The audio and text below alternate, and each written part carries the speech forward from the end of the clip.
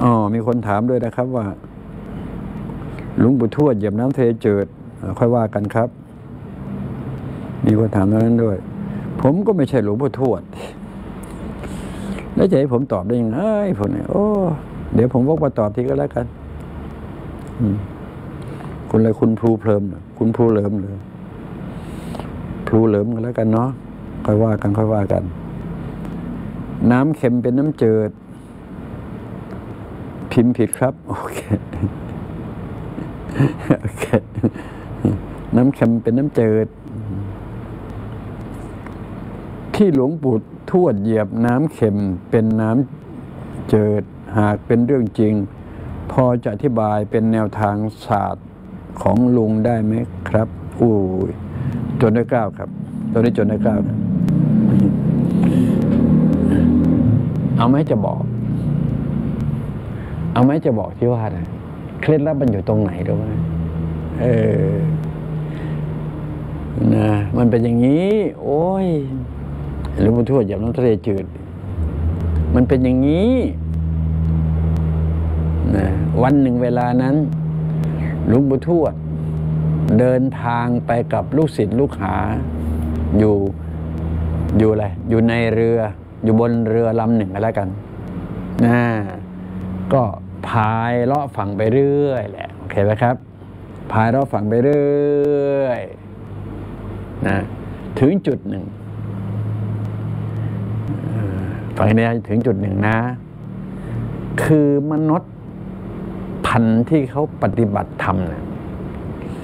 เขาจะเห็นสิ่งใดไม่เหมือนชาวโลก เช่น อากาศมันมี แต่มนุษย์โลกจะมองไม่เห็น โอเคนะ ส่วนผู้ที่เขาปฏิบัติธรรมเนี่ยเขาจะสามารถมองเห็นอากาศได้ทำนองเดียวกันกำลังเล่นเรืออยู่ที่ไปทะเลเนี่ยเห็นน้ำน้ำทะเลเนี่ยครับ ตาเขาจะไม่เหมือนใคร มนุษย์ตาทิพย์มันจะเป็นอย่างนั้น คือเขาไปเห็นน้ำอาณาบริเวณแผ่นกระจกตะกัดกว้างเม็ดยาวเม็ดเนี่ยอ้าวประมาณนั้นครับ ตรงนั้นแหละ ที่มนุษย์ตาทิพย์เขาจะมองเห็นว่า เฮ้ย มันไม่เหมือนน้ำทะเลทั่วไปนะ เช่นเขามองปุ๊บเห็นสีก็ว่าได้ มันจะท้อนกับแสง เห็นสีก็ว่าได้ สีมันต่างกับทะเลทั้งหมด โอเคไหมสีมันต่าง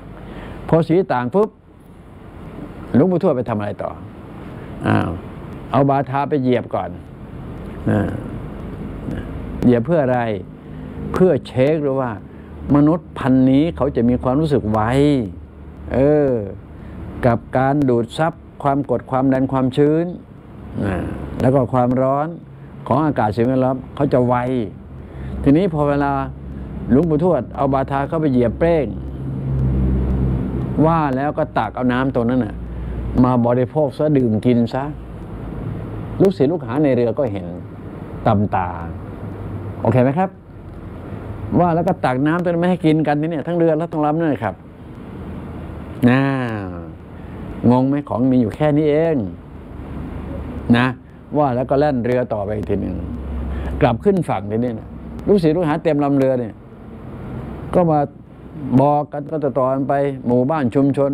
ลุงบุญทวดเหยียบน้ำทะเลเจิดเก่งมาก โอ้โหเห็นไหมเก่งมาก สุดยอดเยี่ยมกระเทียมโทนแถมดองต่างหากเนี่ย โอเคไหมครับ นี่อยู่แค่นี้เอง มันไม่ใช่ว่าทะเลทั้งผืนไปเหยียบน้ำทะเลจืดทั้งผืนมันไม่ใช่น่มาถ้าใช่บอกสิ อยู่ไหนหลวงปู่ทวดแต่ตาไปอ่านให้ดูแน่ลุงออกคูกลับเลยไหมนะนะนะก็ขอได้โปรดเข้าใจตามนี้ก็แล้วกันนะโลงยังพี่นี่แหละลุงออกแล้วอะตอบไม่ฟังกันนะ ไอ้น้ำทะเลจืดโอเคนะครับ มีแค่นี้ครับ ดูเหมือนว่า